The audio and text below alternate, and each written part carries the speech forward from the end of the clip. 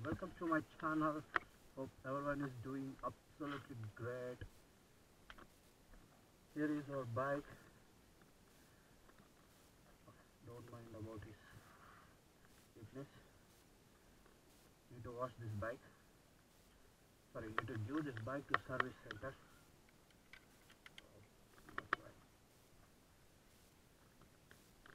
You can see it's uh, 56, right? So 44 kilometers away from 10,000 kilometers. So after reaching 10,000 kilometers, as we can give this back to the car service.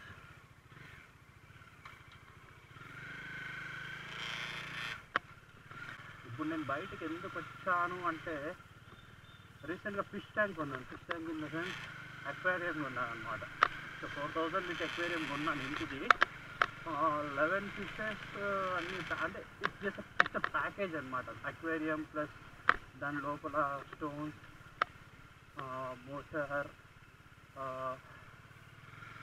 fishes ten five pairs of fishes that means ten fishes so అందులో and ఒకటి ఫ్రీగా ఇచ్చాడు. ఆ glass clean చేస్తాడు. ఏదో ఒక fish అతుక్కోరు ఉంటుంది. ఎప్పుడు గ్లాస్కి సో అనమాట సో రెండు ఈ రోజు మార్నింగ్ ఒక ఫిష్ చనిపోయింది టూ డేస్ బ్యాక్ ఒక ఫిష్ చనిపోయింది. తెచ్చి వన్ వీక్ కూడా అవ్వలేదు. సో అసలు ఫిషెస్ ఎందుకు చనిపోతున్నాయి రీజన్ కనుక్కుందామని వెళ్తున్నా. అలానే అనే న్యూ ఫిషెస్ పర్చేడ్ పర్చేస్ చేయడానికి కూడా వెళ్తున్నా అనమాట I body to with back so it's German shepherd show line puppy four point five months I mean I mean four months two weeks maybe four months fourteen days past. Very active very active but afternoon మాత్రం చాలా అంటే చాలా dull dull కాదు sleep అనమాట ఎప్పుడు sleep sleep sleep after morning eight thirty eight thirty morning four thirty నుంచి I mean four థర్టీకి బయటకు తీసుకెళ్తాను సో మళ్ళీ ఫైవ్ థర్టీ సిక్స్కి ట్రైనింగ్ సెషన్ స్టార్ట్ చేస్తాను నేను మా బ్రదర్ ఇద్దరు కలిసి సో ఎయిట్ వరకు జరిగింది ఆ ట్రైనింగ్ సెషన్ అప్పటి వరకు ఫుల్ యాక్టివ్గా ఉంటుంది.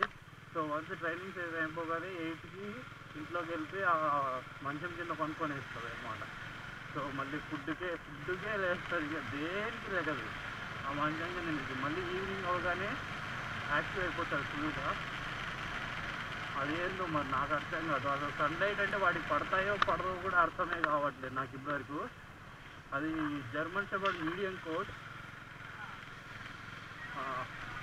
అసలు యాక్చువల్గా బ్రీడర్ దగ్గర ఉన్న హైదరాబాద్ నుంచి తెప్పించాను దాన్ని. బ్రీడర్ దగ్గర నుంచి నాకు వచ్చేప్పుడు చాలా వీక్ ఉండే కొంచెం.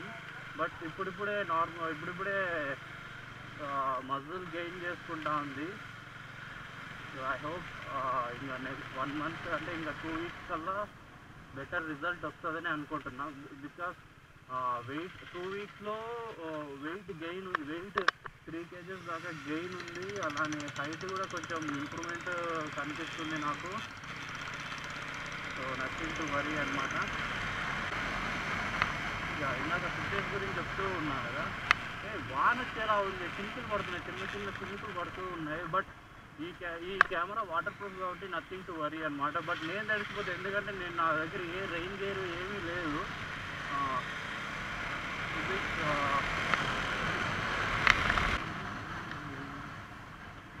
అంత ఫాస్ట్ వెళ్తున్నప్పుడు మధ్యలో ఇట్లా బర్రెలు గొర్రెలు అడ్డొస్తాయి ఇంత చిరాకు వస్తుంది కదా. సడన్గా బ్రేక్ చేయాల్సి వస్తుంది. వాళ్ళ వాళ్ళు కూడా అసలు చూసుకోరు వెహికల్స్ తరుగుతారు వచ్చే వాటికి వెళ్తే హైదరాబాద్ వెళ్ళచ్చు విజయవాడ వెళ్ళచ్చు లెఫ్ట్ వెళ్తే చెన్నై వెళ్ళచ్చు. సో బేసిక్గా ఇది నెల్లూరు హైదరాబాద్ విజయవాడ నుంచి నెల్లూరుకి వచ్చేప్పుడు స్టార్టింగ్ ఏరియా అనమాట ఈ స్టార్టింగ్లో ఉంటాం మేము. అంతకుముందు ఆ ఎండ్లో చెన్నై నుంచి వచ్చేటప్పుడు చెన్నై నుంచి స్టార్టింగ్ అంటే ఆ ఎండ్లో ఉండేటోళ్ళం. బట్ రీసెంట్గా ఇల్లు తీసుకున్నాం కదా. సో మీరందరూ నా గృహప్రవేశం ఒక మా ఇంటి గృహప్రవేశం వీడియో చూసింటారు. సో మీకు అర్థమయ్యే ఉంటుంది. గృహప్రవేశం వీడియో చూసింటారు. చూడని వాళ్ళు పైన ఐకాన్లో లింక్ ఇస్తాను. వెళ్ళి చూడండి. ఏదో నా ప్రయత్నం నా ప్రయత్నం నేను చేసే నా వీడియోలో ఎడిటింగ్కి కానీ చూపించడానికి but I ho I hope you guide you like that video. అంటే రెండు చూసారా పక్క పక్కనే అసలు ఎంత వీళ్ళు కొంచెం కూడా ఇదే లేదు. ఒక లైన్ తీసుకోవచ్చు కదా. మళ్ళీ పోవడమేమో నాకు ఆమె నత్తపోయినట్టు పోతా ఉంటారు. కొంచెం ముందు వెళ్తే కదా. కొంచెం ఫాస్ట్ వెళ్తే ముందే వెనక వచ్చేటోళ్ళు కూడా క్రాస్ చేస్తారు కదా వెహికల్స్ సో వీళ్ళ వాళ్ళు ఎంత టైం వేస్ట్ అవుతుంది అంత టైం వేస్ట్ అవుతుంది హైవే పైన.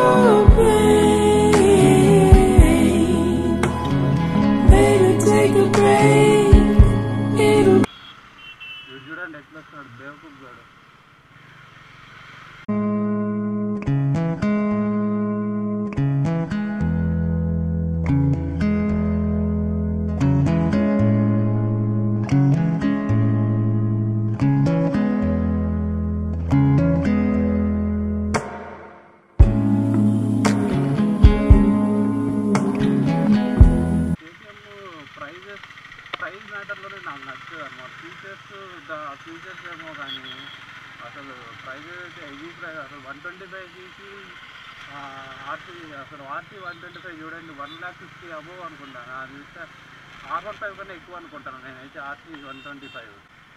అవసరమా అంత price one twenty five CC దానివల్ల వచ్చింది లేదు సీజీ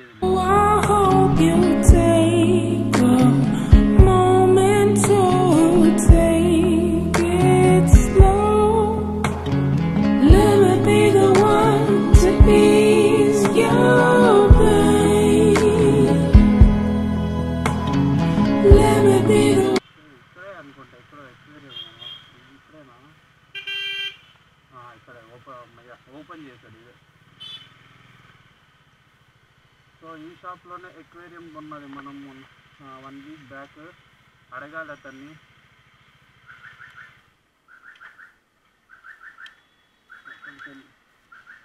లోపలికి వెళ్ళి అడుగుతాం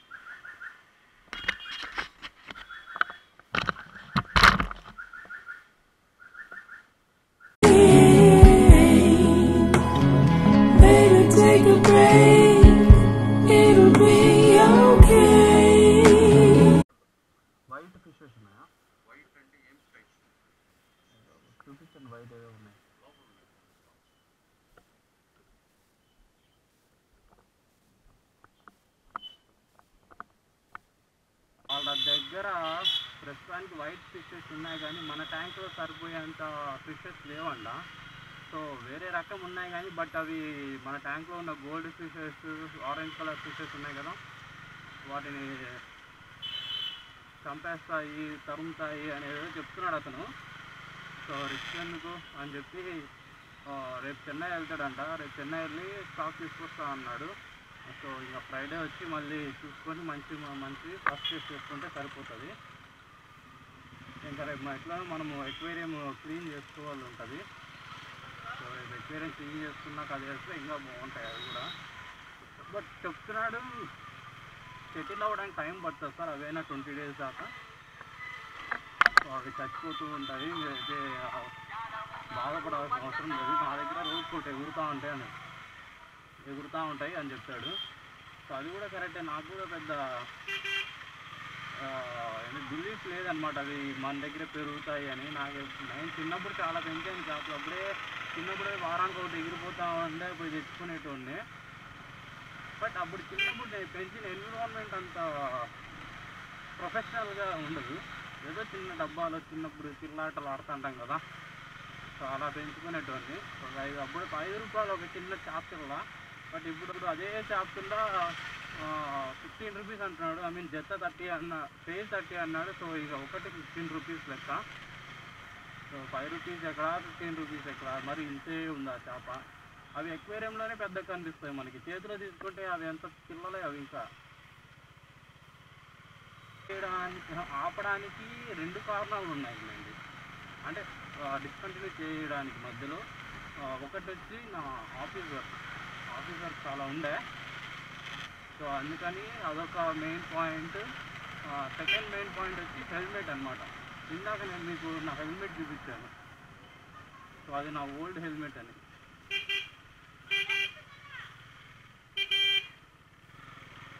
సో బేసిక్గా ఆ ఓల్డ్ హెల్మెట్కి నేను కెమెరా సైడ్గా చూసేటోని మీరు నా పాత బ్లాక్స్లో చూసే ఉంటారనుకుంటా.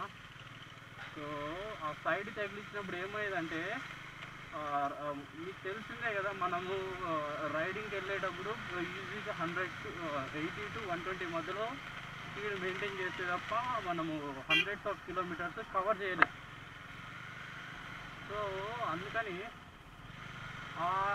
అప్పుడు ఏమైందంటే అంత స్పీడ్లో వెళ్ళినప్పుడు ఆ కెమెరా సైడ్ ఉండేది కదా సో ఆపోజిట్ ఒక విండ్ బ్లాస్ట్కి ఆ కెమెరా నా హెల్మెట్ లాగేసేది వెనక్కి. సో అలా లాగేటప్పుడు ఏమైందంటే నాకు చాలా అన్కంఫర్టబుల్గా ఫీల్ అయ్యేది అనమాట నా నెక్ అంతా చాలా అంటే చాలా పెయిన్ వచ్చేసేది.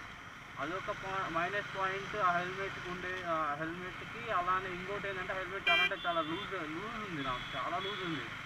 సో ఏదైనా హెవీ వెహికల్స్ కానీ సైడ్ నుంచి వెళ్ళాయి అనుకోండి ఆ బిల్డ్కి ఆ హెల్మెట్ జా ఒక సైడ్కి జారిపోయేది అనమాట సో ఇవి ఆలోచించుకోండి ఎంత డేంజర్ ఉండేదో.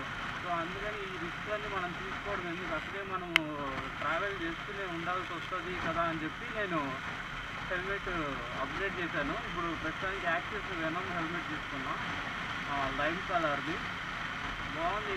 కంఫర్టబుల్ ఇంకా బ్రేక్ హెల్మెట్ పూర్తిగా బ్రేక్ అవ్వలేదు. It will take some time but అంటే స్పీడ్ నాకు అసలు తెలియదు. అంటే హండ్రెడ్ వరకు ఈ హెల్మెట్ చాలా కంఫర్టబుల్గా ఉందన్నమాట. హండ్రెడ్ కిలోమీటర్స్ పర్ అవర్ వరకు ఈ హెల్మెట్ చాలా అంటే చాలా కంఫర్టబుల్గా ఉంది. ఇప్పుడు విన్న విన్నే రావట్లేదు లోపలికి. అంత కంఫర్టబుల్గా ఉంది. అసలు మనకు తెలియట్లేదు హండ్రెడ్ కిలోమీటర్స్ వెళ్తాను మనీ ఇంకా అర్థం చేస్తుంది మీరు ఎంత కంఫర్టబుల్గా ఉండాలి ఈ హెల్మెట్. హండ్రెడ్ దాటిన తర్వాత ఇంకా మెల్లిమెల్లిగా తెలుస్తుంది అనమాట బట్ ఐ థింక్ ఈ మ్యాక్సిమం స్పీడ్ వచ్చి హండ్రెడ్ వరకే అనుకుంటున్నాను నేనైతే. ఇది సో ఇంకొకటి ఏంటంటే నా కెమెరాకి మైక్ సెటప్ ఉండదు మైక్ సెటప్ నేను చేయలేను కూడా. ఎందుకంటే దీనికి jack three pin jack three three pin holder జాక్సిన్ two pin holder జాక్సిన్ ఏదో ఒకటి కొంచెం లేదనమాట సో నేనైతే ట్రై చేస్తున్నా. అది ఎక్స్టెన్షన్ తీసుకోవాలి. మైక్రో కేబుల్ ఉంది. ఛార్జింగ్ పెట్టాను కదా మైక్రో కేబుల్ దాని నుంచి త్రీ పిన్ సెట్ చేయాలన్నమాట. సో అది ట్రై చేస్తున్నా బట్ అన్వర్తీగా అంటే ఈజీగానే అన్వర్తీ అన్వర్తీ అని ఇస్తున్నారు why I spend lot of money అన్నారు అంటే three hundred to five hundred మధ్యలో ఉందన్నమాట ట్వెల్వ్ మంత్స్ నేను that much money for unworthy product అందుకనే నేను తీసుకోలేదు.